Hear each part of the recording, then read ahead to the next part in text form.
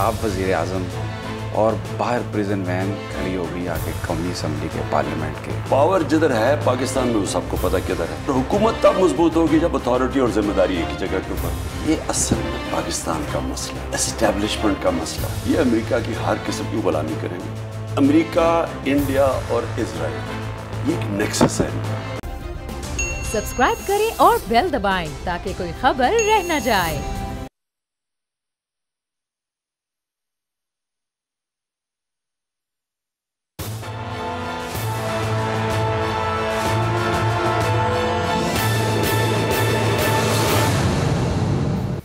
वालेकुम नाजरीन, मैं आपका मेज़बान समी इब्राहिम और आप तजिया का स्पेशल एपिसोड देख रहे हैं। मैं आज पिशावर में हूँ और सबक वज़ी अजम इमरान ख़ान मेरे साथ हैं।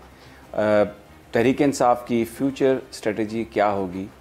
तहरीक इंसाफ के साथ जो कुछ हुआ पिछले दो तीन महीनों में, उस पर बात होगी। और जो जुल्म हुआ 25 मई को, जिस दिन इमरान खान साहब ने लॉन्ग मार्च का ऐलान किया, उसकी तफसीलात इनके पास बहुत हैं, इनसे पूछेंगे। और भी बहुत सारे सवालात हैं जो लोग हमें भेजते हैं ईमेल्स के ज़रिए। आज उन तमाम सवाल का जवाब लेने की हम कोशिश करेंगे। खान साहब बहुत बहुत शुक्रिया आपने बोल टीवी को टाइम दिया। सबसे पहले तो जो कुछ हुआ लॉन्ग मार्च वाले दिन, जिस तरीके से ब्रूटेलिटीज़ हुई, लोगों को मारा गया, आपको were you expecting that expect कर भी रहा था लेकिन जब सुप्रीम कोर्ट ने कह दिया ना हम जब सुबह निकले 25 को तो सुप्रीम कोर्ट की एक, एक रूलिंग आई। मैं उस वक्त था कंटेनर में तो मुझे पूरी तरह जो मुझे समझ आई उन्होंने कहा कि अब रास्ते भी क्लियर कर दो हमारा हक है पूरा मन एहतजाज का और आप जिन लोगों को पकड़ा हुआ है उनको भी छोड़ दो। तो हम रिलैक्स कर गए। हमने समझा कि आप आराम से निकल जाएँगे। लेकिन हमारा मुकाबला मुझे तभी सोचना चाहिए माफियाज के साथ है। ये मुजरम है इस कौम के। तीस साल से ये मुल्क के ऊपर जुल्म कर रहे हैं लूट रहे हैं।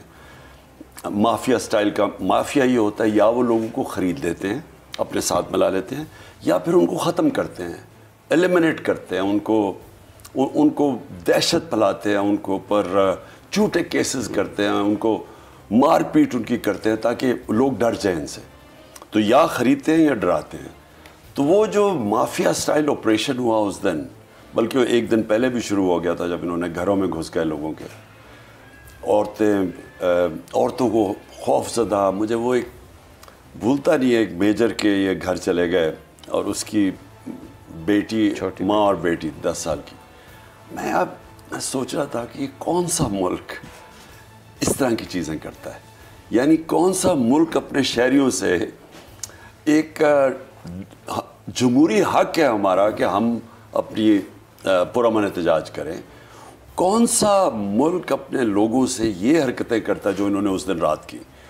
लोग जो हमने कहानियाँ सुनी मैंने तो कभी कभी पाकिस्तान में पहले नहीं सुनी। यानी मुशरफ का जब दौर मुझे याद है मुझे जेल में डाला उन्होंने सात आठ दिन मैं जेल में भी रहा। जब मुशरफ ने क्रैक डाउन किया था जब वो अदलिया की आज़ादी के चल रही थी मुझे वो वहाँ कुछ भी नहीं था इस तरह। यानी डिक्टेटरशिप में कोई इस तरह की चीज़ें नहीं हुई जो इन, इन्होंने की और उसकी वजह, देखें, समी, ये ये लोग हैं मुजरम। ये वो लोग हैं जिन्होंने मॉडल टाउन में दिन दिहाड़े ये शबाज शरीफ और ये राना सनाउल्ला यानी टीवी के सामने इन्होंने लोगों को गोलियाँ मारी, चौदह कत्ल किए। मैं अस्पताल गया उसके बाद। तो वहाँ लोग पड़े हुए थे। किसी कमर में गोली लगी हुई है वो पैरालाइज हुए हुए हैं किसी। यानी सत्तर अस्सी लोगों को गोलियाँ लगी। तो जो वो कर सकते हैं और फिर मैं अब क्या कहूँ कि हमारा जो इंसाफ का निज़ाम है यानी अगर वहाँ सजाएँ इनको मिल जाती। मिल जाती। आप यकीन करें साढ़े तीन साल हमारे दौर में मैं कोशिश करता रहा। मैं कही मॉडल टाउन का केस वो तारुल कादरी से मैसेज भी आती थी। वो हम कहते थे वो स्टे ऑर्डर मिला हुआ था। इनकी ऐसी ग्रिप है ये ऐसा माफिया है ये इनका ये बच जाते हैं। शबाज शरीफ का ओपन एंड शट केस है वो अभी इनका एफ़ आई ए के प्रोसिक्यूटर जुलकर ने अभी बताया जी, जी सब बताया सारा। उससे कहा वो केस ही नहीं लगता था। हम भी एक साल पहले इसको सजा हो जानी चाहिए थी। वो केस ही नहीं लगता था उसको डिले करने जाए कभी उसकी कमर की दर्द पे महीने महीने की डिले तो इनकी एक एक नीचे तक जड़ें पहुँची हुई हैं। तो माफिया है। तो इन्होंने ये कोशिश फिर की कि हमें भी वही खौफ सदा करने के लिए। ख़ास तौर पे देखें आदमी कहता है चलें ठीक है मुझे तो जेल में डाल दो या जो भी करना है। लेकिन औरतें और मेरे और बच्चे, बच्चे और बूढ़े। उन उनके ऊपर तो यानी उनको उनसे तो लोग नहीं समझते ना तो है। तो मुझे ये आ, आ, सारे जो मुलविस थे इसमें देखिए ना इसमें सवाल उठता है कि और भी लोग जो रोक अच्छा एक सवाल मैं ऐड कर देता हूँ। रात एक बड़ा अच्छा प्रोग्राम हुआ अरशद शरीफ का। एक उसमें बार बार एक सवाल था कि आप वज़ी अजम और बाहर प्रिजन वैन खड़ी हो गई आके कौमी असम्बली के पार्लियामेंट के। कौन था वो जो सारी ये ऑर्डर कर रहा था? और भी मैं बीसियों चीज़ें आपको गिनवा सकता हूँ। आप खुद मेंशन कर रहे हैं कि पूरी कोशिश करते रहे लेकिन सज़ा नहीं मिली। रुकावट कौन था? देखिए सभी मसला ये है कि जब हमें गवर्नमेंट मिली ना तो मैं अगर फिर से वही गवर्नमेंट मिलनी होती तो मैं कभी ना एक्सेप्ट करता। क्योंकि वो एक पहले कोलिशन गवर्नमेंट थी और फिर उसके अंदर आ, आ, लोग जो हमें ज्वाइन किए थे उनको हम जानते नहीं थे कोलिशन पार्टनर्स थे। तो बड़ी कमज़ोर थे हम। अगर मैं अब फिर से होता तो मैं री इलेक्शन पर सीधा चला जाता। मैं कहता फिर से इलेक्शन कराओ मेजोरिटी होगी तो आऊँगा नहीं तो नहीं आऊँगा। तो तब हमारे हाथ बन गए। हम हर तरफ़ से पकड़े गए। यानी हर जगह से ब्लैकमेल होते थे। पावर पूरी तरह हमारे साथ नहीं थी। और जो पावर जिधर है पाकिस्तान में वो सबको पता किधर है। तो उनके ऊपर फिर रिलाय करना पड़ा। सारा वक्त उनके ऊपर रिलाय करते तो उन्होंने कई बड़ी अच्छी चीज़ें भी की। लेकिन कई चीज़ें जो होनी चाहिए थी वो नहीं की। They don't want to give up the power power तो है ना। उनके पास पावर तो है। पावर इसलिए है कि वो कंट्रोल करते हैं वो वो इदारे जिनके पास you know NAB muscle NAB हमारे कंट्रोल में तो नहीं थी ना। नैब तो हमें के आज़ाद है अदली आज़ाद है। और फिर जो अब मसन एफ़ आई ए ने केस कर दिया इसका शबाज का। अब जाना तो वो जुडिशरी के पास था। सज़ा तो उधर से होनी थी। और उधर हमारे तो इख्तियार में नहीं था कुछ। तो लिहाजा हम बदकस्मती से जिस तरह की हम जो करना चाहते थे वो नहीं कर सके। तो ये जो अरशद शरीफ ने सही सवाल पूछे कि क्या है? ये यानी गवर्नमेंट पावर ज़िम्मेदारी मेरी है मुल्क की, लेकिन इख्तियार पूरे नहीं हैं। इख्तियार यानी ये हो ही नहीं, कोई भी मैनेजमेंट सिस्टम नहीं चलता। अगर ज़िम्मेदारी मेरे पास हो, लेकिन इख्तियार पूरे ना हो। रिस्पॉन्सिबिलिटी और अथॉरिटी एक ही जगह पे होती है, हमेशा तब एक सिस्टम चलता है। तो ये तो चैलेंज अभी भी फिर आपके सामने है। अगर आप एक इलेक्शन होते हैं, उसमें आप अक्सरियत भी ले लेते हैं। तो भी जो बैठे हैं, जिनके पास ताकत है, जो बैलेंस करते हैं इसको, वो तो apparently they are not willing to give up any any share in the power देखिए सभी पाकिस्तान का चैलेंज क्या है? चैलेंज एक तरफ़ ये है कि हमें बड़ी स्ट्रॉन्ग फ़ौज चाहिए, हमें ताकतवर फ़ौज चाहिए। क्योंकि हमें और ख़तरा है दुश्मनों से। शुरू में तो इत, शायद इतना ख़तरा ना हो। शुरू में खैर जब पाकिस्तान बना तब तो हिंदुस्तान से ख़तरा था जंगें भी हो गई। लेकिन जब से हमारे पास जो एटॉमिक डिटरेंट आया न्यूक्लियर डिटरेंट आया उसके बाद एहसास में ख़तरा कम है। लेकिन ये आप मैं आपको बता दूँ कि अगर इस मुल्क की फ़ौज मज़बूत और प्रोफेशनल और तकड़ी नहीं होती तो आप देख लें मुसलमान दुनिया में क्या हो रहा है। आप शुरू कर लेना यमन से, Yemen Libya, Syria, Somalia, Afghanistan, Iraq, सारी चुन चुन के एक एक मुल्क, लेबनान, उनसे हुआ क्या? तो हमें तो ये बड़ी अल्लाह की नेमत है कि हमारी फ़ौज तकड़ी है। अब दूसरा ये है कि ये जो बैलेंस है कि आप कैसे एक तकड़ी फ़ौज भी हो आपके पास, लेकिन आपके पास एक मज़बूत हुकूमत भी हो। और हुकूमत तब मज़बूत होगी जब अथॉरिटी और ज़िम्मेदारी एक ही जगह के ऊपर हो। ये नहीं हो सकता कि आपकी ज़िम्मेदारी आपकी हो लेकिन आप रूल ऑफ़ लॉ कायम करें। और देखें सबसे बड़ा चैलेंज सभी पाकिस्तान में रूल ऑफ़ लॉ है। कानून की हुक्मरानी। जब तक आप ताकतवर को कानून के नीचे नहीं लेके आते कोई दुनिया में माशरा तरक्की नहीं कर सकता। आप सीधी दुनिया का नक्शा देख लें खुशहाल मुल्क देख लें और जिधर मुल्कों में गुर्बत है वो देख लें। एक डिफरेंस होगा। खुशहाल मुल्क में रूल ऑफ़ लॉ होगा। वहाँ सारे कानून के नीचे होंगे और जो गरीब मुल्क होंगे, जिस तरह नाइजीरिया तेल के ज़ख़ीरे पे बैठा हुआ है। मेरे पास नाइजीरियन डिफेंस मिनिस्टर जब मैं प्राइम मिनिस्टर था, मुझे मिलने आया।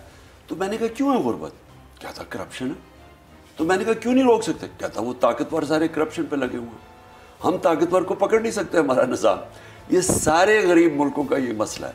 तो मेरी जो कोशिश थी रूल ऑफ़ लॉ कायम करने की, वो इसलिए नहीं हो सकती थी कि जो ताकतवर थे, उनकी जड़ें इतनी थी, तकड़े वो थे और उनके कनेक्शंस थे, हर जगह उनके कनेक्शंस थे तो वो जो एक कोलेशन गवर्नमेंट में वो आप नहीं कर सकते। आपकी बाहरियत अक्सरियत हो तो आप कर सकते हैं कुछ, लेकिन अगर आपकी अक्सरियत नहीं है तो सारा वक्त ब्लैकमेल होते थे। आप ये कहना चाह रहे हैं कि अगर आपके पास अपनी अक्सरियत हो तो वो जो शख्स नज़र नहीं आ रहा, फिर वो आप पर इस तरह वार नहीं कर सकता जैसे अब वार हुआ और एक इम्पोर्टेड गवर्नमेंट मुसलत कर दी गई। लेकिन ना, सभी मुल्क आगे बढ़ ही नहीं सकता। मैं आपको बता देखिए, मैंने सारी दुनिया देखी मैंने बरतानिया का सिस्टम क्योंकि मैं यूनिवर्सिटी भी गया, वहाँ पर क्रिकेट खेलता था, मैं अंदर से सारा सिस्टम जानता हूँ। उनकी कामयाबी क्या है? क्योंकि हमने उन्हीं का सिस्टम लिया हुआ है ना। उनकी सबसे बड़ी कामयाबी रूल ऑफ़ लॉ है। कानून की बालादस्ती जो हमारे नबी सल्लल्लाहु अलैहि वसल्लम ने सबसे पहले मदीना में इंस्टीट्यूट किया था। गुर्बत थी वहाँ तो कुछ भी नहीं था ना उनके पास। लेकिन उन्होंने कानून की बालादस्ती कायम की थी। उन्होंने कहा था मेरी बेटी भी जुर्म करे तो उसको सजा मिलेगी। कोई कानून के ऊपर नहीं है। हमारा मसला तो ये है जुर्म किया वो दोबारा वजी अजम बन गए बन गए। मैं जो अलमिया पाकिस्तान। अब हम खड़े हैं डिफाइनिंग मोमेंट फैसला कन वक्त हम अब बिल्कुल तबाही की तरफ़ जा सकते हैं। मैं क्यों अपनी कौम को कहता हूँ कि अगर अब आपने फैसला ना किया और निकले ना, जो मैंने हर जलसे में कहा और ये जो मेरा धरना मकसद इसका क्या है? कौम को ये बताने के लिए कि अब आप तबाही की- तरफ़ जा रहे हैं। मुशर्रफ ने जब ये सबसे बड़ा जुल्म किया एन आर ओ जब दिया इन दोनों चोरों को, जब इनके इतने 11 साल इन्होंने जो करप्शन की थी, वो सारे केसेस आए हुए थे। और वो मिच्योर हुए हुए थे। स्विट्ज़रलैंड में पकड़े जाना था इन्होंने वो जो 60 मिलियन डॉलर पड़ा था स्व- स्विट्ज़रलैंड में वो पाकिस्तान को वापस आना था। केस जीत चुका था पाकिस्तान। और सरे माल का केस जीत चुका था। हुदैबा पेपर मिल का ओपन एंड शॉर्ट केस है। वो इसहाक डार ने बकायदा बैंक अकाउंट्स बताए थे कि यहाँ से किधर पैसे भेजते थे by money laundering. Straight forward cases थे। मुशरफ ने एनआरओ दे के दोनों को माफ़ कर दिया। और उसका जो नुकसान हुआ, चार गुना पाकिस्तान का कर्जा बढ़ा। यानी छः हज़ार अरब से तीस हज़ार अरब पे लाइबिलिटीज दस सालों में पहुँची। छः हज़ार थी साठ सालों में। दस सालों में। तो अब वही स्टेज आ गई है। इन लोगों ने जो दस सालों में चोरी की, जो इनके दौर के केसेस हैं, स्वाय शबाज शरीफ के एफ़ आई ए के, सारे केसेस इनके दौर के हैं। वो केसेस अब ये सारे ख़त्म करेंगे अपने आके और इतना बड़ा ये जुल्म हो रहा है पाकिस्तान में मैं आपको यकीन दिलाता हूँ एक मुल्क के ऊपर एटम बॉम्ब भी बचे ना वो बच जाता है। लेकिन ये जो इखलाकियात तबाह हो रही है पाकिस्तान की जो जो नबी सल्लल्लाहु अलैहि वसल्लम ने कहा था कि तुम्हारे से पहले बड़ी कौमें तबाह हुई। क्योंकि ताकतवर को आप मुजरिम को नहीं पकड़ सकते अच्छा अब फिर एक एक पाकिस्तान में एक और भी रियलिटी है। अगर एस्टेब्लिशमेंट आपके साथ ताउन नहीं करती आपके ख़िलाफ़ है भले आप कितने भी पॉपुलर लीडर हों, जैसा भुट्टो साहब के केस में हुआ, आप हुकूमत में नहीं आ सकते। Keeping in mind this context अब फ्यूचर स्ट्रेटेजी क्या है? देखें असल इमरान खान को किस चीज़ की ज़रूरत है? मुझे तो अल्लाह ने जो भी चीज़ देनी थी, दे चुका है दुनिया में। साढ़े तीन साल वजारत उज़मा पे भी बैठा रहा हूँ। ये असल में पाकिस्तान का मसला है इस्टेब्लिशमेंट का मसला है। अगर इस वक्त इस्टेब्लिशमेंट सही फैसले नहीं करेगी, मैं आपको राइटिंग में देता हूँ कि तब ये ये भी तबाह होंगे। फौज सबसे पहले तबाह होगी, क्योंकि मुल्क बैंक होगा, किधर जाएगा मुल्क? मैं आपको सीक्वेंस बता देता हूँ ना। ये जब से आए हैं, रुपया गिर रहा है स्टॉक मार्केट चीज़ें महँगी डिफ़ॉल्ट की तरफ़ जा रहा है पाकिस्तान। अगर हम डिफ़ॉल्ट कर जाते हैं पाकिस्तान इसका मतलब पाकिस्तान बैंक से जाता, सबसे बड़ा इदारा कौन सा है जो हिट होगा? पाकिस्तानी फौज। जब फौज हिट होगी तो जो उसके बाद हमारे से कंसेशन क्या ली जाएगी? जो यूक्रेन से उन्होंने ली थी डी न्यूक्लियराइज करने की। सबसे बड़ा तो मसला उनको, हमारी वाहिद मुसलमान मुल्क है, जिसके पास न्यूक्लियर डिटरेंट है। जब वो चला गया, फिर क्या होगा? मैं आपको आज कहता हूँ, पाकिस्तान के तीन हिस्से होंगे, जो कि आप आम इनके थिंक टैंक्स हिंदुस्तान के थिंक टैंक्स में देख लें। बाहर जो सारे बलूचिस्तान को लैदा करने के प्लान हैं इनके प्लान बने हुए हैं। तो ये इस वक्त अगर सही फैसले नहीं किए जाएँगे मुल्क खुदकुशी करने पे जा रहा है। मैं इसलिए ज़ोर लगा रहा हूँ। तो हाउ विल यू बिकॉज़ ये जो आपने सिचुएशन बताई बड़ी है पाकिस्तानी भी परेशान है। What will you do to force that it should not happen देखिए मुझे मुझे जो आ, मैं आपको सामने बता दूँ ना कि इसको गेम प्लान क्या नज़र आ रहा है। जिसने भी साजिश करके हमें हटाया था और इसमें बैरूनी साजिश शामिल थी। असल वजह वो है। बैरूनी साजिश यानी वो एक कल मैं टीवी प्रोग्राम देख रहा था मिफ्ता इस्माइल आया हुआ था सीएनएन पे। बैकी एंडरसन के साथ। तो वहाँ कहता है कहते जी आ, हिंदुस्तान उसने कहा तेल खरीद रहा है। उसने मेरा बताया कि इमरान खान कह रहे हैं हिंदुस्तान तेल खरीदा रूस से। पाकिस्तान क्यों नहीं खरीद? रहा हिंदुस्तान को कोई डेढ़ से दो अरब डॉलर का फ़ायदा हुआ है दो महीने में। हमारे पास जो डॉलर्स नहीं है हम महँगा तेल हम क्यों नहीं खरीद रहे क्योंकि हमने तो उससे बातचीत कर ली थी। हमाद अजहर ने लेटर भी दिखा दिया right. कि जो हमारी नेगोशिएशन चल रही थी। उसने कहा जी असल में उसने कहा जी जो हमारे माई बाप है अमेरिका जिसके हम गुलाम हैं वो इजाज़त नहीं देगा। यानी वो उनसे परमिशन मांगे देखें ये ये जो अब सेटअप है ये सेटअप जिस तरफ़ अब हमें लेके जा रहा है ये क्या करेंगे? ये अमेरिका की हर किस्म की गुलामी करेंगे। अमेरिका इंडिया और इसराइल ये एक नेक्सस है इनका जो कि नवाज़ शरीफ और जरदारी हमेशा इनको खुश करते थे। क्योंकि इन ये जो ये जो इनका प्लान है ना इसराइल इसके बीच में है। हिंदुस्तान इसराइल का नेक्सस है। इसराइल और जो इंडियन लॉबी है जो एपेक है इसराइल लॉबी और इंडियन वो इकट्ठे काम करती है अमेरिका में। इसलिए वो उनको खुश करता है। बिज़नेस इंटरेस्ट भी नवाज़ शरीफ के वहाँ हैं। जरदारी ने जाके वो मेमू गेट में क्या कहा था? हुसैन अकानी में जाके कहा कि पाकिस्तान जरदारी को फौज से बचा लो अपने। तो ये जो लोग हैं ये एक तो सॉवरेंटी यानी बिल्कुल हमें गुलाम बना रहे हैं उधर। उनका प्लान पाकिस्तान की बेहतरी नहीं है। वो कमज़ोर पाकिस्तान हिंदुस्तान क्यों खुशियाँ भरी जब इमरान खान गया हिंदुस्तान में आप देखते तो उनकी टीवी में सेलिब्रेट किया उन्होंने। कि जी बहुत बड़ा कारनामा जिस तरह कोई कि कोई शबाज शरीफ कोई हिंदुस्तानी है जो कि इमरान खान को रिप्लेस कर दिया। क्योंकि इमरान खान सिर्फ़ यही था ना कि मैं मैं एक आज़ाद फॉरेन पॉलिसी चाहता हूँ, मैं चाहता हूँ पाकिस्तान के इंटरेस्ट सामने हो। उसकी वजह से कई दफ़ा ना करनी पड़ती है। आपको आपको अपने मुल्क के इंटरेस्ट के लिए खड़ा होना पड़ता है जैसे रूस है। हमारा इंटरेस्ट है, हम सस्ता तेल खरीदें। हमारे फॉरेन, हमारे, हमारा जो रुपया है, अगर हम अपने फॉरेन एक्सचेंज नहीं बचाएँगे तो रुपया गिरना रुपया गिरेगा, महँगाई बढ़ती जाएगी, गुरबत बढ़ेगी। इसलिए हमने उनसे बात की हुई थी।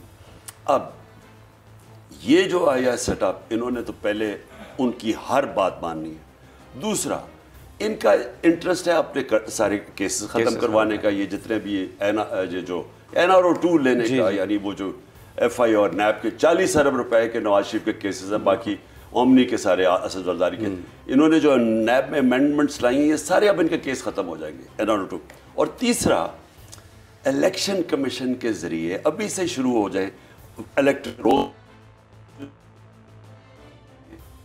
अभी बिल्कुल फेंक दी है और इलेक्शन कमीशन इस साजिश का हिस्सा है।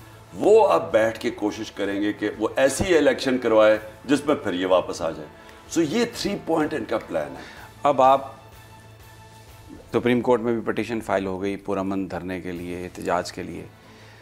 अभी इसी महीने आप एहतजाज करेंगे या इसको लंबा करेंगे? क्योंकि चौधरी परवेज लाई साहब की तरफ़ से ये बात मीडिया में आ रही है। वो ये सजेस्ट कर रहे हैं आपके इतिहादी हैं कि फौरी तौर पर लॉन्ग मार्च की तहरीक का ऐलान ना अब डेट ना दी जाए। और ये भी वो कह रहे हैं कि असम्बलियों में अगर वापस चले जाएँ तो ज़्यादा बेहतर होगा। देखिए असम्बलियों में तो वापस जाने नेशनल असम्बली में वापस जाने का तो सवाल ही नहीं पैदा होता। जिस वक्त हम नेशनल असम्बली के अंदर वापस जाते हैं इसका मतलब ये जो सारी साजिश हुई है और मुझे अभी भी कहना पड़ता है कि चीफ जस्टिस को प्रेसिडेंट ऑफ़ पाकिस्तान ने वो ख़त भेजा है वो जो मरासला जो साइफर भेजा है उसके ऊपर तहकीकत होनी चाहिए कि इतना एक मुल्क की सॉवरेंटी के ऊपर इतना बड़ा हमला हुआ है। वाज तौर पे उसमें लिखा हुआ है कि इमरान खान को हटाओ और चेंज करो नहीं तो हम ये कर।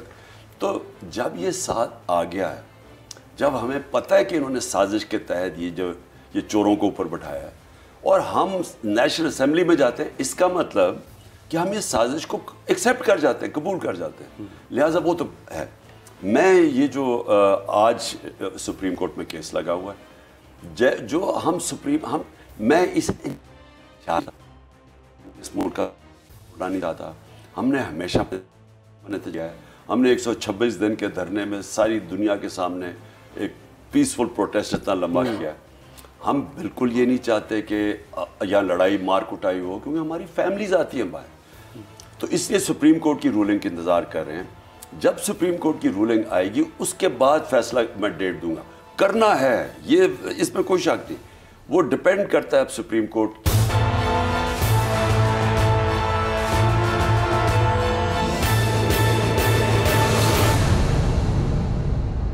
बड़ा सवाल जिन लोगों से पाकिस्तानियों से हमारी बात होती है वो कहते हैं कि जिन लोगों से मुकाबला है उनके अंदर कोई अखलाकी ज़रूरत नहीं है वो पैसे भी बनाए हैं चोर भी दूसरों को कह रहे हैं। सिर्फ़ एहतजाजी जलसों से अगर आप ये समझें कि वो मरूब हो जाएँगे वो चले जाएँगे तो ये तो वो कह रहे हैं कि इट इज़ नॉट पॉसिबल लोगों का ये परसेप्शन है कि सिर्फ़ जलसों से एहतजाज से तो उन पर कोई फ़र्क नहीं पड़ने वाला।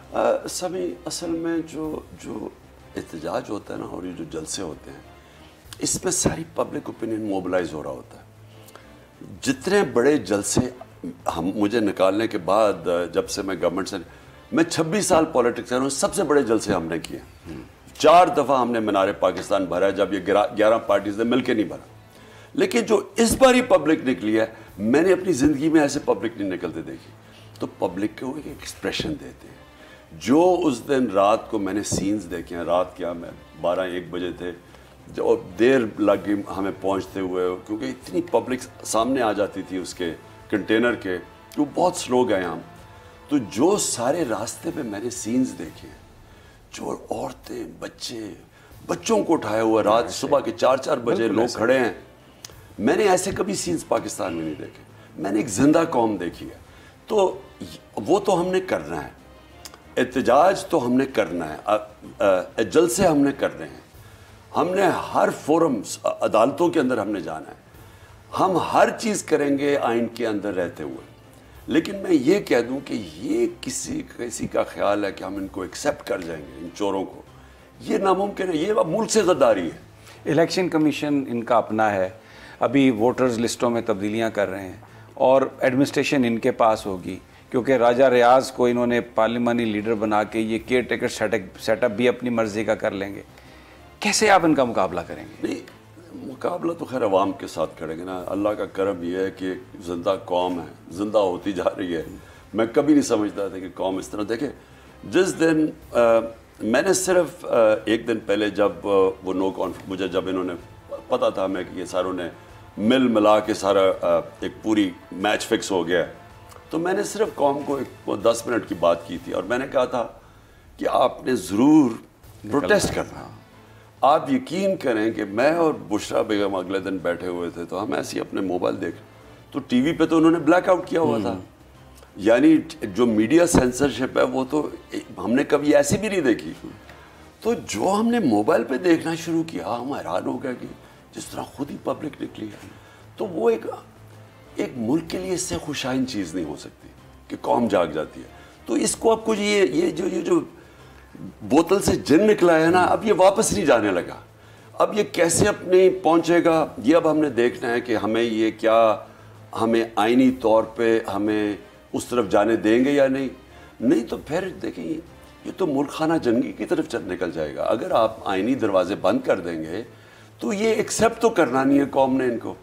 तो वो तो फिर एक, एक इंतशार और खाना जंग अच्छा कुछ लोग ये सजेस्ट करते हैं कि सुलह हदैबिया की मिसाल दे के कहते हैं कि बाज़ात सिचुएशन को कंट्रोल करने के लिए आपको ऐसे माहे करना पड़ते हैं जिसमें आप लगता है कि आप कमज़ोर हैं बज़ाहिर लेकिन उसका आउटकम बहुत आपके हक में होता है।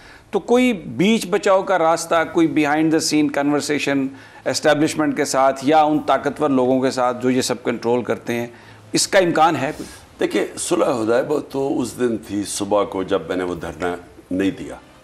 मैं उसको सुलह हुदैबा इसलिए समझता हूँ कि सुलह हुदैबा एक थी बड़े मकसद के ऊपर पहुँचने के लिए कॉम्प्रोमाइज़ Right. एक मुफामत की गई थी। नबी सल्लल्लाहु अलैहि वसल्लम ने फैसला किया था कि वो उनके हज़रत अली रज़ी अल्लाह ताला और हज़रत उमर रज़ी अल्लाह ताला ज़ोर लगा रहे थे कि ये नहीं हम नहीं मानते। लेकिन उन्होंने एक बड़े मकसद के लिए और फिर हिकमत सामने आ गई। तो हमेशा मुसलमान उसको रेफ़र करते हैं। मुझे पता था कि मैं अगर आगे चला जाता वो इतना गुस्सा था लोगों को जो इन्होंने शेलिंग की हुई थी। एक तो उनका उन्होंने आउट ऑफ़ कंट्रोल हो जाना था और वहाँ डायरेक्ट खड़ी हुई थी। पुलिस और फौज खड़ी हुई थी आगे। दूसरा इन्होंने और अगले दिन और उसी दिन शाम को जब अगर हम बैठ जाते तो मुझे तो ये राना सनाउल्ला पता है जिसने मॉडल टाउन में दिन दिहाड़े लोग कत्ल करवा दिए और ये शबाज शरीफ शबाज शरीफ ने सबसे ज़्यादा पुलिस मुकाबले में लोग मरवाए हैं। एक आबिद बॉक्सर की टीवी के ऊपर उसने बताया कि किस तरह इसने सब्जाजार या कुछ था वहाँ दो लड़कों को कत्ल करवाया। ये ये बुजदिल हैं दोनों और हमेशा जालिम होता है बुजदिल। और इन्होंने अपने लोगों को उस दिन जिस तरह जनरल डायर ने किया था ना उसने तो गुलामों के खिलाफ किया था वो तो अपने लोगों के खिलाफ। इन्होंने अपने लोगों औरतों बच्चों के खिलाफ जो इन्होंने उस दिन शाम को किया है। और वहाँ गुल्लू भट्ट थे जो इन्होंने कपड़े पुलिस के कपड़ों के अ, अ, दूसरे आदमी आम कपड़े पहन के वो सामने गाड़ियाँ तोड़ रहे थे वो कर रहे थे। तो मुझे पता था कि अगले दिन इन्होंने वही करना है। और हमारे साथ एक दो चीफ मिनिस्टर्स थे उनके अपने गार्ड्स थे। उनके गार्ड्स भी थे, मुसल्ला थे। हमारे पास एक प्राइम मिनिस्टर था, आज़ाद कश्मीर का, उनके गार्ड्स थे, मुसल्ला थे, लोग मुसल्ला थे। तो उस वक्त एक दफ़ा गोली चल जाती तो सारा कुछ ही बदल जाना था। वहाँ बड़े लोगों ने मरना था। तो मैंने इसलिए उस दिन सुबह को फैसला किया कि ये अब इस वक्त ये जिस तरफ़ गेम जा रही है वो मेरा मेरा मकसद कुछ और है इलेक्शन करवाना ये चले जाएगी किसी और तरफ़। लेकिन ये बहुत कहानियाँ स्पेकुलेशन के जी बातचीत हो रही थी। अयाज सादक साहब और शाह महमूद कुरैशी परवेज़ खटक सुबह मुलाकात हुई।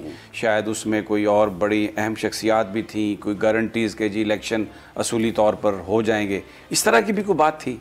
देखिए हमने तो दरवाज़ा सारा वक्त खोला हुआ है क्योंकि मकसद तो इलेक्शन करवाना है किसी से जंग लड़ना तो नहीं है। लेकिन हम चाहते हैं कि इससे नीचे हम कोई चीज़ें देखिए ना, जो आप इलेक्शन करवाना है, एक दफ़ा आप बता दें इलेक्शन की ये डेट है, उसके बाद बाकी चीज़ें हम सारे बैठ के बात कर सकते हैं। लेकिन इलेक्शन की डेट पहले दें। इससे भी, इससे नीचे नहीं हटने लगे। क्योंकि अगर आप वो करेंगे, इसका मतलब कि साजिश शुरू हो जाएगी।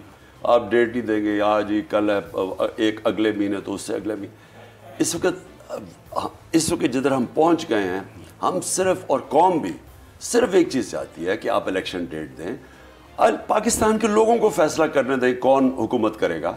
अमेरिका की बनाए हुए इस मुल्क के बड़े बड़े मुजरम वो ऊपर बैठ के साठ फ़ीसद बेल के ऊपर जो मुजरम है वो हमारी ज़िंदगी का फैसला नहीं कर सकते। Definitely. और ऊपर से वहाँ बाहर बैठा हुआ सजाए आफ्ता कानून से भागा हुआ झूठ बोल के गया हुआ करप्शन के ऊपर पकड़ा हुआ वो आदमी हमारी ज़िंदगी के फैसले नहीं कर सकता। आप हमेशा बात बड़े नपे तुले अंदाज में करते हैं। समझ भी आ जाती है आदमियों को और आप खुलकर वो बात भी नहीं करते। लेकिन कुछ सवालात हैं लोगों के जहनों में। जिस रात आप पार्लियामेंट में जंग लड़ रहे थे और असद कैसर साहब ने भी बड़ा एक रोल प्ले किया तो ये तवक्को की जा रही थी कि जो कुछ मर्ज़ी हो जाए, आप बिल्कुल यहाँ पर किसी तरह से भी स्पीकर साहब जो हैं वो पीछे नहीं हटेंगे। लेकिन जब वज़ी अजम हाउस से वापस आए तो फिर उन्होंने एक फ़ैसला किया। उस रात के हवाले से बहुत सारी कहानियाँ भी हैं। तो अगर थोड़ा आप लोगों के साथ शेयर करें कि हुआ क्या और वट चेंज एवरीथिंग देखिए वो तारीख कभी किसी को माफ़ नहीं करती। चीज़ें तो सारी सामने आ जाएँगी। लेकिन वो रात अगर आप मेरे से पूछें मैं इसकी डिटेल्स में नहीं जाता लेकिन पाकिस्तान की की जब तारीख लिखी जाएगी तो वो एक ऐसी रात गिनी जाएगी उस तारीख में जिसमें पाकिस्तान पाकिस्तान को बहुत नुकसान पहुँचा। पाकिस्तान के इदारों को बहुत नुकसान पहुँचा। जो जो जो इदारे मुल्क को एक फाउंडेशन देते हैं, मज़बूत करते हैं, उन इदारों ने पाकिस्तान को कमज़ोर कर दिया। और फिर ये ही नहीं हुआ कि जिस तरह वो सारी शाम हुई जिसमें यानी आ, मैं डिटेल्स फिर कभी बताऊँगा। लेकिन जो पाकिस्तान की जमहूरियत से हुआ उस दिन रात को देखे ना स्पीकर को यानी उसके हाथ बाँध दिए पकड़ के पार्लियामेंट के अंदर ट्राइकॉटमी ऑफ़ पावर होता है यानी पार्लियामेंट का अपना एक मुकाम होता है एक जमहूरियत के अंदर। स्पीकर के हाथ बाँध दिए जिस तरह के आपको कंटेम्प्ट लग जाएगी तो आपको ये हो जाएगा। और स्पीकर साहब बड़े परेशान थे उस दिन। तो मैंने एक वो पॉइंट इस, तरह का आ गया फिर वो गाड़ियाँ भी आ गई। हमें तो खैर मैं वहाँ पी पता चला कोई गाड़ियाँ भी बाहर खड़ी हो गई हैं और कोई दो अदालतें भी खुल गई हैं।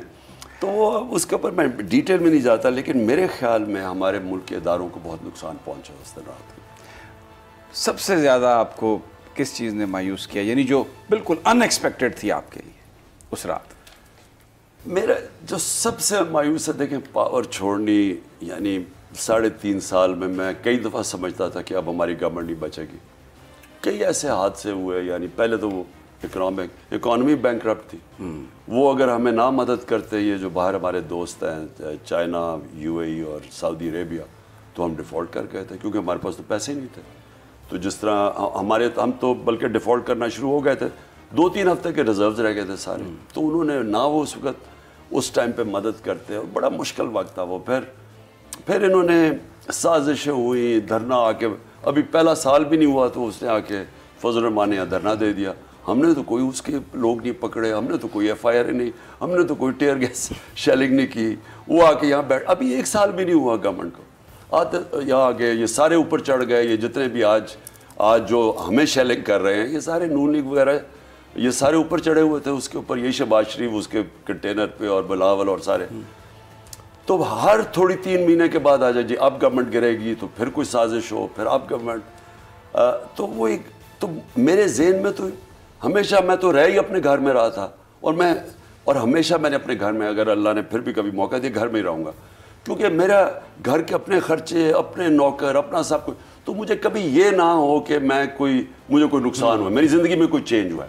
मैं तो तैयार था सारा वक्त। और मैंने असेंबली में भी तकरीर किसी ने कहा जी वो घबराया हुआ था कि जी आ, आ, आ, बड़ी बताएँ कि हमारी गवर्नमेंट बड़ी मज़बूत है। मैंने कहा गवर्नमेंट तो पावर तो अल्लाह देता है अल्लाह ले लेता है तो लेकिन जो मुझे तकलीफ़ सबसे ज़्यादा हुई वो एक कि जिनके ख़िलाफ़ 26 साल से मैं जहाद कर रहा हूँ इन दो बड़े ख़ानदानों के साथ। इस मुल्क की 60 साल बासठ साल पचहत्तर साल में बासठ साल 30 साल दो ख़ानदानों ने हुकूमत की और 30 साल फौजियों ने हुकूमत की। अब जिन्होंने तीस, बत्तीस साल इन दो ख़ानदानों ने हुकूमत की है, इनकी चोरियों की कहानियाँ लिखी हुई हैं। ये तो चालीस अरब तो सिर्फ़ जो सामने आए ना, इनकी बाहर अरबों डॉलर्स की प्रॉपर्टीज़ हैं, दोनों ख़ानदानों की। इतनी मुश्किलों से इनको हम कोशिश कर रहे थे, इनको शिकस्त दी और फिर कानून की और कौम ने वोट दी। कानून के नीचे इनको लेके आ रहे हैं, इनके ऊपर केसेस हैं। पहली दफ़ा इनके ऊपर कुछ हुआ। उनको ऊपर आके बैठा दिया।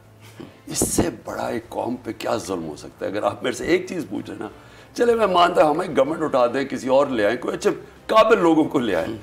मुल्क के चोरों को ऊपर ला के बैठा दिया। मेरे लिए जो सबसे तकलीफ़ दह चीज़ है ना वो ये है कि कैसे को यानी को, कौन इस मुल्क से इतनी दुश्मनी कर सकता है? ये तो मुल्क से दुश्मनी है ना ये मुझे ये बताएँ कि ये जो आके बैठे हैं इनका क्या इंटरेस्ट है पाकिस्तान वो बैठा हुआ है बाहर नवाज़ शरीफ बेटे उसके बाहर बैठे हुए हैं। इसहाक डार जो इनका फ्रंट मैन है, वो बाहर बैठा हुआ उसके बेटे बाहर बैठे हैं। शबाज शरीफ का बेटा जैसे ही ये मकसूद चपड़ासी केस है, इसने उसको बाहर भजवा दिया। इसका दमाद बाहर बैठा हुआ है। लंदन में अयाशियाँ कर रहे हैं ये। महलों में रह रहे हैं वहाँ। सबसे महँगे इलाकों में रह रहे हैं। जिन, इनका क्या स्टेक है पाकिस्तान में? यहाँ रुपया गिर रहा है तो उनकी तो दौलत में इजाफा हो रहा है। आज अगर मेरे डॉलर्स में बाहर पैसे पड़े हुए हैं, मेरी प्रॉपर्टीज़ तो जैसे जैसे हम हमारी दौलत कम हो रही है इनकी दौलत में इजाफा हो रहा है। इनका क्या स्टेक है पाकिस्तान में? इनको ला के ऊपर बैठाना। तो मुझे इसके ऊपर अगर तकलीफ़ हुई है ना और मैं समझता हूँ अगर मुल्क से असल गद्दारी हुई है वो ये हुई है। हम्म। अच्छा आपके खिलाफ साजिश आप ज़िक्र कर चुके हैं कि आपको अंदाज़ा हो गया था कि ये इन्होंने शुरू की है। उसमें अमेरिका का एक बड़ा रोल है डोनाल्ड लू की आखिरी जो कन्वर्सेशन है साइफर सब। आपके दोस्त भी हैं, बैरूनी हुक्मरान जो हैं, उनसे भी आपकी मुलाकातें रहीं। कभी किसी ने इस हवाले से आपको वॉर्न किया हो? थोड़ा ये आपने उनके साथ, उन्होंने डिस्कस किया हो कि इस तरह की हवा चल रही है, जिससे आपको अंदाज़ा हुआ हो? देखिए, पहली दफ़ा तो मैंने ये जब इस्लामोफोबिया के ऊपर बात की, मुझे याद है ओआईसी की मीटिंग हो रही थी सऊदी अरेबिया में। तो मैंने पहली दफ़ा बात की कि हम मुसलमान लीडर हैं। हमारे नबी सल्लल्लाहु अलैहि वसल्लम की बेहरमती होती है उनकी शान में गुस्ताखी होती है। हमने कभी ये कोशिश नहीं की उनको बताने के लिए कि सवा या डेढ़ अरब लोगों को मुसलमानों को कितनी तकलीफ़ होती है। तो हमारी ज़िम्मेदारी है मैंने वो पहली दफ़ा बात की। और इस्लामोफोबिया के जो मुसलमान रहते हैं उनसे बड़ी उनको हर वो हिजाब औरत पहली उसको गालियाँ निकालते हैं सड़कों पर दाढ़ी रखी हो उनसे। तो मैंने कहा हमारी ज़िम्मेदारी है ओ आई सी की हेड्स की बात मुझे याद है मैंने जब कहा तो उनमें से मैं नाम नहीं लूँगा। एक middle eastern head of state थे। तो मेरे पास आया। उससे कहा ये पहली दफ़ा किसी ने बात की किसी में ज़रूरत हुई है बात करने की।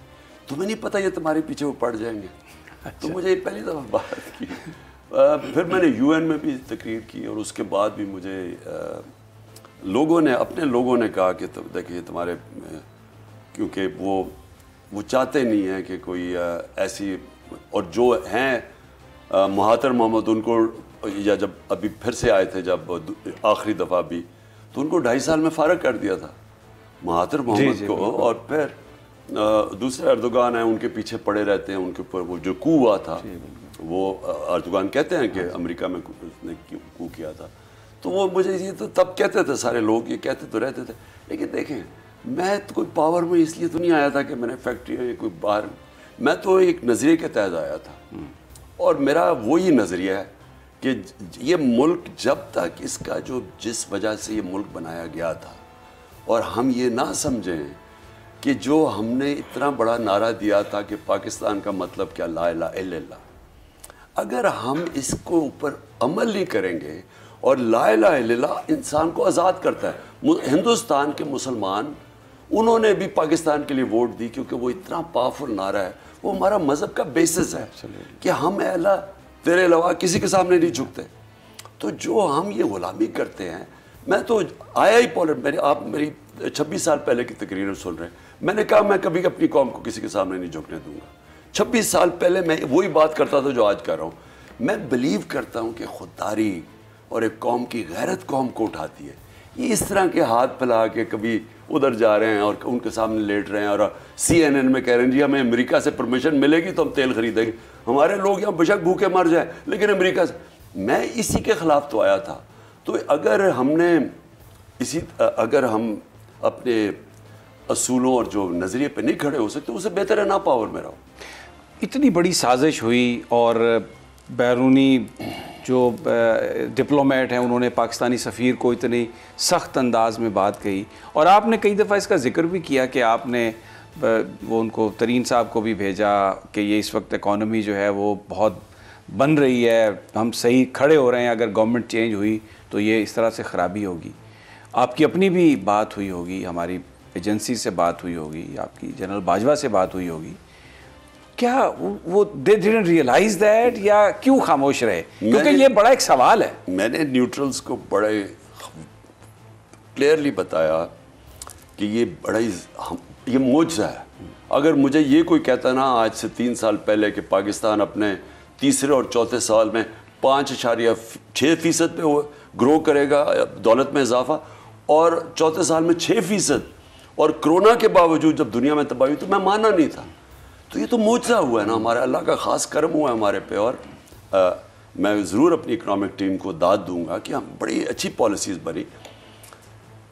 मैंने बिल्कुल ये जाके बताया। मैंने कहा ये अगर आपने किया इस वक्त ये ये जो साजिश हो रही है ये कामयाब हो गई तो ये आ, हमारी जो इकॉनमी है वो बड़ी मुश्किल से यहाँ पहुँची। जैसे ही कॉन्फिडेंस गया ये नीचे जाएगी। फिर शौकत तरीन गया। शौकत तरीन ने प्रेजेंटेशन दी। उसने पूरा बताया कि ये ये सिचुएशन है पूरा नंबर्स बताए। और वही हुआ जैसे वो गवर्नमेंट गई अब हालात देखें कि इकॉनमी रुपया किधर जा रहा है। और आगे जो मुझे तो जो खौफ आ रहा है जो महँगाई का अब समुंदर आ रहा है आगे अभी तो शुरू हुआ है महँगाई। अभी तो अभी इन्होंने पेट्रोल और डीजल और बढ़ाना है। हम्म। तो उसका जो इम्पैक्ट पड़े अब बिजली बढ़ानी है उसका इम्पैक्ट सब चीज़ों पे पड़ेगा। तो बट क्या रिस्पांस था? क्या वो समझते थे कि ये कुछ नहीं हो रहा आप फजूल में बात कर रहे हैं या वो कहते थे कि हम बस खामोश हैं? हमें तो कहा कि कोई साजिश नहीं है और हम न्यूट्रल हैं। लेकिन जो कुछ हो रहा था उसमें तो ये तो कभी पाकिस्तान जैसे मुल्क में मुमकिन ही नहीं है वो लोग जो एक दूसरे को इतनी गालियाँ निकाल रहे हैं जो एक दूसरे की शक्ल नहीं देखना चाहते वो इस तरीके से यकजा हो गए। ये कैसे हो सकता है? नहीं, उनका, उन्होंने तो इकट्ठा होना था। सभी मेरे, आप 11 साल पहले इंटरव्यू मैंने एक, मेरे ख्याल में नसीम जहरा को इंटरव्यू दिया हुआ था। 11 साल पहले, या 12 साल पहले। मैं तब उन्हें कहा था, मैंने उन्हें कहा कि ये जब हम आएँगे, मैं आऊँगा ना, ये दो, सब इकट्ठे हो जाएँगे। क्योंकि इनके इंटरेस्ट एक हैं। ये आपस में तो करते हैं ना, नूरा कुश्ती दोनों करप्ट हैं। इन्होंने जब पहले दफ़ा जो इनकी दो दो दफ़ा गवर्नमेंट्स गिरी नब्बे की दिहाई में वो करप्शन पे गिरी थी। जब ये एन आर ओ लेके आए मुशरफ से तो उन्होंने फैसला किया कि अब हमने एक दूसरे को आप आप भी पैसा बनाओ मैं भी पैसा बनाऊँगा अपना नैब का हेड रख लेंगे अपने सिलेक्टर्स इलेक्शन कमीशन अपने रख लेंगे अपनी केयर टेकर रख लेंगे मिल मिला के और हमारे बच्चे तक बारियाँ हम खाते रहेंगे। तो इन्होंने फिर मिल के खाए हैं। ये जो चार गुना जो जो हमारा कर्जा छः हज़ार अरब से गया तीस हज़ार अरब पे इन्होंने मिल के लूटा मुल्क को। इन्होंने एक और इनके जो केसेस बने हुए हैं वो तब के बने हुए हैं। नैब ने फिर भी जो केसेस बनाए इनके दौर में तो चुप करके बैठ। इनके दौर के बने हुए केसेस ज़रा सुप्रीम कोर्ट पे आ जाते हैं। ये ठीक है कि अदालतें रात को खुली सब कुछ हुआ। आ, अब आप फिर दोबारा सुप्रीम कोर्ट में जा रहे हैं। एक एक उन्होंने सू मोटो भी लिया है जो इन्होंने कवानी में तब्दीलियाँ की हैं ई ई सी एल जो है, वो जो लिस्ट है, उसमें भी इन्होंने सारी तब्दीली की है। अभी इनकी कोशिश ये है कि ये दबाव में ला के चीफ जस्टिस को दो या तीन जो जजेस की असामियाँ हैं, वो पूरी करवा लें, फिल करवा लें, क्योंकि अटर्नी जनरल और जो मिनिस्टर ऑफ़ कानून है, अब उनका वोट जो है, ये अपनी मर्ज़ी से वो उनको आ जाएगा। इस सारी सूरत हाल में तो ये इसका एडवांटेज लेने की कोशिश कर रहे हैं दबाव में लेके आ रहे हैं सुप्रीम कोर्ट। में व्हाट डू यू से देखिए सभी आज पाकिस्तान मैंने फिर से शुरू में जो आपसे बात की थी फैसला कौन वक्त पे खड़ा हुआ है? डिफाइनिंग मोमेंट है। ये दो तो जिस तरह हम अल्लाह से नमाज़ में मांगते हैं ना कि अल्लाह एक उनके रास्ते पर जिनको नेमते बख्शे उनके नहीं जो तबाही का रास्ता है। हम्म। ये कौम का भी यही है। एक तरफ़ है एक रास्ता नज़र आ रहा है जो कि इस मुल्क को ऊपर उठा देगा जो कानून का कानून की बालादस्ती रूल ऑफ़ लॉ और दूसरा है तबाही का रास्ता है जो नबी सल्लल्लाहु अलैहि वसल्लम ने कहा जब आप बड़े चोरों को नहीं पकड़ते मुल्क तबाह हो जाता है। जो तीसरी दुनिया की गरीब मुल्कों की कहानी। है अब ये सब सबका ट्रायल है इस्टेब्लिशमेंट का ट्रायल है। सारी कौम के सामने पता है कि पावर ब्रोकर्स तो वो हैं वो ट्रायल पे हैं। अदलिया की ट्रायल है सुप्रीम कोर्ट के ऊपर इस वक्त ट्रायल है। आप देखें ना मैं उनसे आज जो हमारा केस है मैं सीधा सवाल पूछ रहा हूँ। कि मुझे बताएँ कि अगर ये जमहूरियत है तो मेरा हक है या नहीं पुरमन एहतजाज का उधर से वो वो जो एक कातिल वो स्टेटमेंट दे रहा है कि मैं ये कर दूँगा मैं वो कर दूँगा। यानी किस कानून के तहत वो कर देगा कि जी अब मैं फिर पकड़ूँगा मैं मारूँगा? वो समझ रहा है कि ये कोई मोहल्ले का ये ये कोई कि गुंडागर्दी हो रही है कि मैं तुम्हें ये कर दूँगा मैं यहाँ किधर गया कानून? किधर गया आइन किधर गए हमारे हकूक? ये किसकी ज़िम्मेदारी है? ये पाकिस्तान के सुप्रीम कोर्ट की ज़िम्मेदारी है। फंडामेंटल राइट्स को प्रोटेक्ट करना उनकी ज़िम्मेदारी है। तो ये सब ट्रायल पे हैं। समी कौम देख रही है। सारी कौम तमाशा देख रही है। मीडिया हाउसेस को देख रही है। एंकर्स को देख रही है। आप उठा के देख लें कि इनकी कवरेज ऊपर जा रही है। आप एंकर आप अपनी कवरेज देख लें आज के। आप टीवी चैनल्स की कवरेज देख लें। कौन की ज़्यादा टीवी देखा जा रहा है, कौन कौम किधर खड़ी है आज? तो कौम अगर मीडिया हाउसेस और एंकर्स और सहाफ़ियों का भी वो तसाब करती जा रही है तो वो इनकी तरफ़ भी देख रही है इस्टेब्लिशमेंट की तरफ़ देख रही है तदलिया की तरफ़ देख रही है। तो और इसमें जिधर आप फ्यूचर पाकिस्तान के डिसाइड करेंगे कि आप ये ये किधर खड़े होते हैं इदारे? ज़बरदस्त है ये बात। अच्छा एक अब आखिरी सवाल आपसे। इस क्या आप मैसेज देंगे पाकिस्तानी कौम को आने वाले वक्तों के हवाले से अपनी स्ट्रगल के हवाले से? देखिए मेरी तो ज़िंदगी गुजरी है स्ट्रगल में। मैंने तो सारी ज़िंदगी ऊंच नीच देखी है। देखें स्पोर्ट्स की ग्राउंडों में बड़ी ट्रेनिंग मिलती है। आप हारते हैं तो क्या आपको, क्या आप गुजरना पड़ता है? किस मेंटल स्टेट से? और आप जीतते हैं तो आप आपकी तरफ़ खड़े होते हैं। तो ये जो ऊंच नीच है ना, ये आपकी बड़ी ज़बरदस्त ट्रेनिंग करवा देती है। तो मेरी तो ज़िंदगी की ट्रेनिंग है कि मैंने तो कभी हार मानी नहीं है। मेरी तो फिलॉसफी ये है कि हारता वो है जो वो हार मान जाता है और हार हरा ही नहीं सकती उस आदमी को जो हार नहीं मानता। तो मैंने तो ये स्ट्रगल करती रहना है। तो मैं और मेरे लिए जहाद है। ये अल्लाह के लिए काम है, मेरी ज़ात के लिए तो नहीं। मुझे जिस तरह मैंने कहा, मैं खुशकस्मत इंसान हूँ, अल्लाह सब कुछ दे बैठा। लेकिन ये कौम का भी अब टेस्ट है।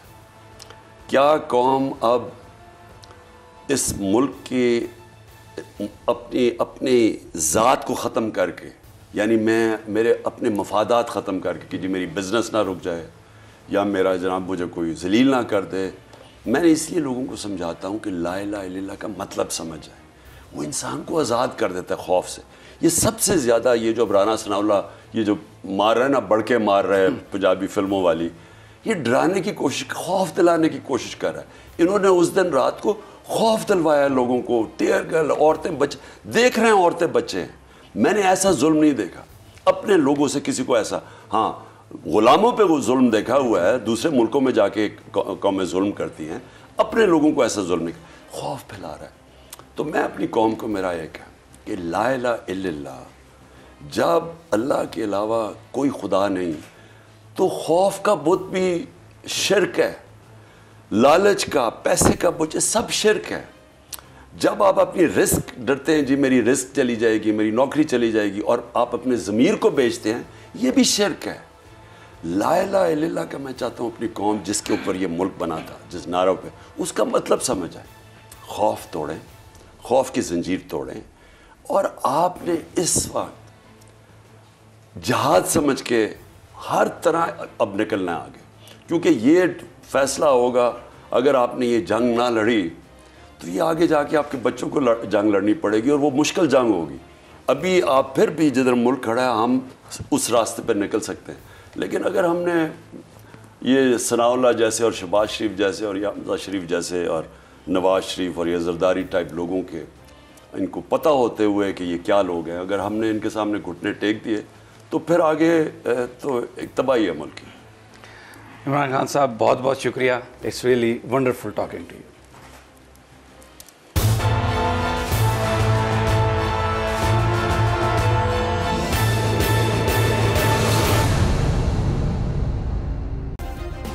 subscribe करें और बेल दबाएँ ताकि कोई खबर रह न जाए।